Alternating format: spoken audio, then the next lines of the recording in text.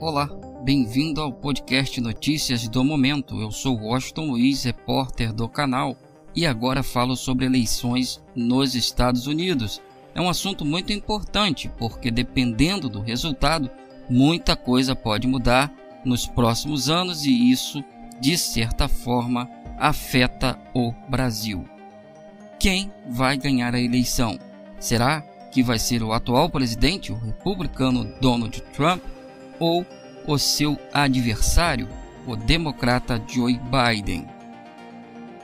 Embora não seja nenhuma garantia, as pesquisas sugerem que o democrata vai ganhar. Se isso for confirmado, não vai ser fácil. Isso porque o republicano já disse que não aceitará uma eventual vitória do seu adversário. Isso mesmo, o Trump já sinalizou que vai recorrer à Suprema Corte, instância em que acredita ter certa influência, porque nomeou três juízes e com isso conseguiu estabelecer um grupo conservador na corte. O presidente Donald Trump parece ter uma estratégia bem arquitetada.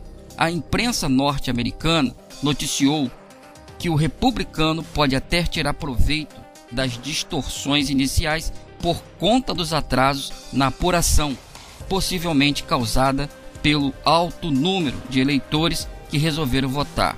Isso seria uma afronta à democracia. Com isso, pode acreditar, mesmo em um cenário desfavorável, o Trump é bem capaz de se declarar vencedor antes da apuração ser totalmente concluída.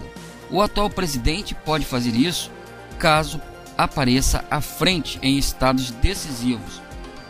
Tudo é possível, né?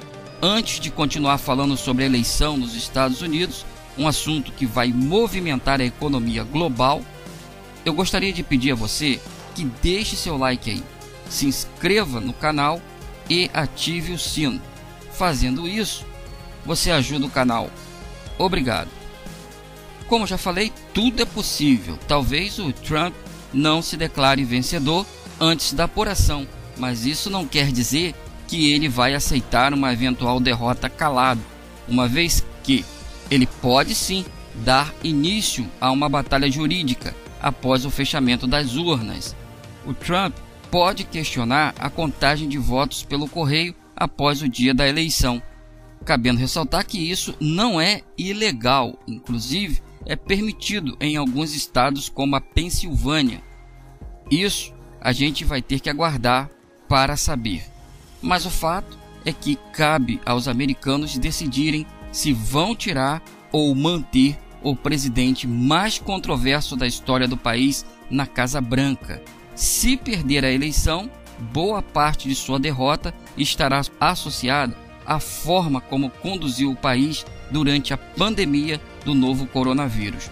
Trump basicamente cometeu um grave erro. Ele sempre tentou minimizar a doença que, infelizmente, matou milhares e milhares de americanos. O apoio de jovens, negros e mulheres será fundamental para Biden. Com isso, conclui-se que as pessoas não precisam gostar do democrata, basta não gostar do Trump. No entanto, lá, como sabemos, não há clima de já ganhou, porque nada está decidido. Eu vou ficando por aqui.